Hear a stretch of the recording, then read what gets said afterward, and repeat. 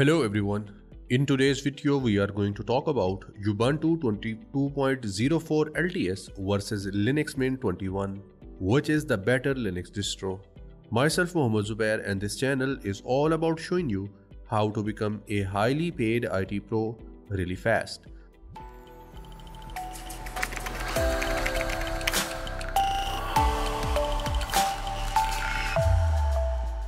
Well, before we start with our comparison, there is a question that comes into mind that why do we need to compare Ubuntu with Linux Mint? Well, Ubuntu and Linux Mint are such and those Linux distributions that are used by most of the beginners that comes to Linux distributions. And that is why we are going to see that which one is better in some particular circumstances. So first of all, let's start with Ubuntu and I'll start with the desktop environment. Well, Ubuntu comes with GNOME desktop environment by default and as you can see it's a very sleek and gives you a modern look. Not only that, it has dock that on the sidebar and from here you have enough size of your icon that you can choose. And because of that, Ubuntu is very supportive on your tab and on your touch screens as well. Because you have enough space and enough icon size to use your Ubuntu on such screens. And not only that, here you have your application button that you can click and it will give you very brief view of all the applications that are installed and available in your system at a particular time. Now, not only that, at the top you get quick menu. If you just click on it, you can do different operations from here like you can have your Wi-Fi, your Bluetooth connections, your power options, then you have your settings in which you can customize your system, you can have your lock option and obviously the power option just like any other operating system out there. And at the top in the middle, you have your date, time and you have all the notifications in here. Other than this, GNOME offers you different workspaces. For example, if you press your super key or if you click on this show applications button and in case if you do not know what super key is, it's a Windows button on your laptop. So I'll click on this show applications button GNOME offer you to have different workspaces just like this one. As you can see, we have two of them by default. So if I just click on this one and if I open my terminal and now again if I click on my show applications button and let's go to the second workspace in here. As you can see we do not have our terminal in this one. Let's open our files. After opening our files, I'll again click on my show applications button which is right here. As you can see now we have one more. So you can open any other applications in here and you can click on show application button and it will give you more desktop or more workspace in here. Why is that so? Well, this feature allows you to have your separate applications opened in separate workstations and it helps you to keep your focus on one thing at a time. Let's say you have your files, your terminal, your app store, your Mozilla Firefox, all of them open in one window. It will be very difficult to keep your focus on one of them. So because of having different workspaces, now you can work separately in separate windows on separate applications. So that is a really cool feature. So that was all about the desktop environment of Ubuntu. Now let's talk about the desktop environment of our Linux Mint. Well, this is our Linux Mint and this is how it looks like and it uses Cinnamon. And Cinnamon is one of the most selling point of Linux Mint. And if you see here, we have some of the applications on our desktop. Then at the bottom, we have our application menu and it is just like Windows 7. So if you remember if you have used Windows 7, its menu just looked like this one. Even if you are a newbie, the layout of all the applications and menu gives you all the information that how you can use this system. So it will not take you a lot of time in terms of understanding the system layout and how you can use that. For example, here you have all the categories of applications. For example, if you go into Office, here on the right side, it gives you all the applications that are related to Office. Same goes for sounds and video, system tools, administration, preferences, and many other categories. So it's very easy to use. But at the same time, as we have seen that in terms of Ubuntu, it is very supportive for the tablets and touch screens. That is not the case with Linux Mint because the icon size is very small and there is not a lot of spacing between each category. So it will not be as easy to use Linux Mint onto your tablets and onto your touch screens, but still you can use it somehow. So this is one of the difference between desktop environment. Other than that, just like Ubuntu, you have your sum of the quick menus in here. You have your time, date and notifications at the left side and you have some other widgets in here. You do not get a lot of options just like you did in your Ubuntu in the quick menu at the top bar. Other than that, if you just click on this application menu button, you get all the power options and some of the system applications onto your menu button. Other than that, you can customize your Linux Mint Cinnamon as well. Just right click on it, you can click on customize and it will allow you to have some of the customization options in terms of your desktop. You can change your theme, you can change the accent color as well. For that purpose, what you need to do, you just need to search for themes and just click on it. You have different themes available. As you can see, we have whole list of different themes that we can go with. Same goes for your applications, mouse pointer and desktop. Other than that, you can add and remove different themes. You have different settings related to it and many more. So this was a brief introduction in terms of the desktop environment about Ubuntu and Linux Mint. Now let's move on to the next one. Now, I'll talk about the additional flavors. Well, in terms of Ubuntu, we get a lot of options like we get Kubuntu, Lubuntu, Ubuntu Budgie, Ubuntu Mate, Xubuntu, etc. Kubuntu comes with KDE, Xubuntu comes with XFCE, Ubuntu Mate comes with Mate desktop environment. So, other than these, there are many other Ubuntu flavors that you can go with. And if we talk about Linux Mint, well, Linux Mint comes with Mate, KDE, and XFCE flavors. So it's all up to you that with which one you want to go and which one you want to use. Now let's talk about the target audience. Well, in terms of Ubuntu, desktops, servers, supercomputers, and Internet of Things are some of the areas where you can use Ubuntu, and that is not the case with Linux Mint. In Linux Mint, it is always better to use it on the desktop. But if you talk about using it on the server, supercomputers, etc., it is not a good choice. Now, let's talk about the App Store. So let me open the App Store of my Ubuntu. Well, you will be surprised to know that both Ubuntu and Linux Mint have almost same App Store because both of them are from Debian and they have wide range of softwares that you can download and install. This is how the App Store of Ubuntu looks like. It gives you a look of a modern, sophisticated and well polished app store and something that is very latest. From here you can download different applications, different softwares. And there is one thing that is related to App Store of Ubuntu and that is in Ubuntu we get Snap Package Manager as well.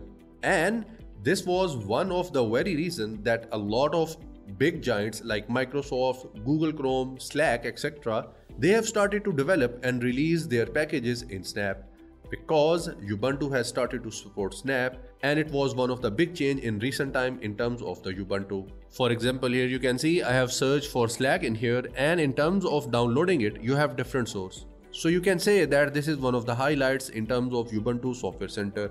And now let's talk about the Linux Mint. Well, as I have mentioned earlier that the Software Center of Ubuntu and Linux Mint are same because both of them are based on Debian. But if we talk about the difference, well it uses Flatpaks and snaps as well. Other than that, if we talk about its interface or about its looks, well it likes very clean, very well balanced and very well thought out interface. Well, in your case, it might not look like something very polished, very sophisticated, and state of the art, but still it works and it offers you everything that you can look for in any Linux distribution. Down here, you have different categories you can go with. For example, if you want to download something related to your games, graphics, programming, you just need to click on the category and you are good to go. For example, I have clicked on programming, so here I will get everything that is available related to programming like Java, PHP, Python, Essentials, etc. So that was all about the App Store and now let's move on to the next thing. The next thing that I want to talk to you about is performance. Well, performance is one such thing that is very dependent on the hardware resources that are available to you. Because Ubuntu and Linux Mint requires different kind of hardware resources for installation.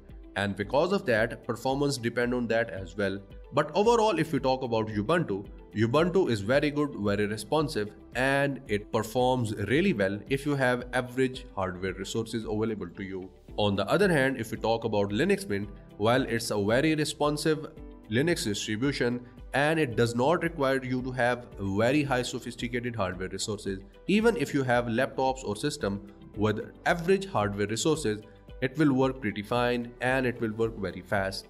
Well, the difference between hardware resources, we'll talk about it but at the end of this video. Now let's talk about the stability. Well, in terms of Ubuntu, Ubuntu gets LTS releases. It means you get to have support for 5 years. Yes, you do get some of the updates after every 6 months, but it doesn't mean you have to upgrade your Ubuntu after every 6 months. You just need to install latest security packages and latest updates, and your Ubuntu will have the support for 5 years. That is not the case with Linux Mint. In Linux Mint, you get to have only 2 year of support officially and that is where you can say that Ubuntu is more stable other than Linux Mint. Now we are done with almost every comparison. At the end, I'll talk about some of the differences between both of these Linux distributions. So as we know, the first thing is Desktop Manager. Ubuntu uses GNOME desktop environment and on the other hand, Linux Mint uses Cinnamon. And in terms of the system requirements, well, Ubuntu require you to have at least 4 gigabytes of RAM and only then you will be able to have sophisticated performance out of it. And that is one of the reasons that in terms of performance, Ubuntu may lag if you have not enough resources or if you have old laptop or machine.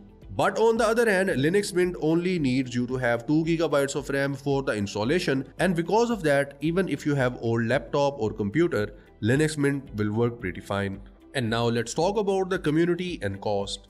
Well, both of these Linux distributions are free to use and you do not have to pay even a single penny. But in terms of community and support, there is a big difference. Because in Ubuntu, you get community support and forums as well. As you can see, this is Ubuntu community and from here you can have almost every kind of support that you need in terms of having your solution for your problem. And not only that, you have Ubuntu forums. Here you will find different pro users of Ubuntu and you can post any question in here and you can get all the answers of your problem. And not only that, community and forums for Ubuntu is well mature and very well sophisticated. So you will get everything that you might need in terms of your Ubuntu. But if we talk about Linux Mint, Linux Mint is also free. But in terms of community and its support, it is there, but it is not well sophisticated and not as much matured as Ubuntu. And because of that, I would say that Ubuntu is business friendly as it has more support and it has a big forum that is always there to support you. So that is why I would not recommend you to use Linux Mint for your business use. And now let's talk about the customization. Well, as we know that there are many Linux distributions out there that are based on Ubuntu and because of that Ubuntu is well customizable Linux distributions and because of that we can say that Ubuntu is more customizable and it offers you to do a lot of things but that is not the case with Linux Mint. Yes, you can customize it, but only up to some extent. At the end, I'll talk about gaming. Well, as we know that Steam is one of those platforms where you can buy and play different games. So, question is, is Steam supported for Ubuntu and Linux Mint? Well yes, Steam is available both in Linux Mint and Ubuntu. In terms of Ubuntu, it has a great support and great compatibility. On the other hand, if we talk about the Linux Mint, it does have Steam available in the software center, but it is not as compatible with Linux Mint. Yes, there are some Linux distributions that are specifically designed for gaming purposes, but as we are comparing Ubuntu with Linux Mint, I would say that Ubuntu is the winner. So these were some of the differences between both of these Linux distribution and at the end if I were to conclude I would say that if you are a new beginner and if you only want to use your Linux distribution onto your desktop then go with Linux Mint as it has the Windows 7 like layout. You will be able to use everything and it is very self-explanatory as well. But if you want to use a Linux distribution for your servers or for a supercomputer or for internet of things then i would recommend you to stick with ubuntu.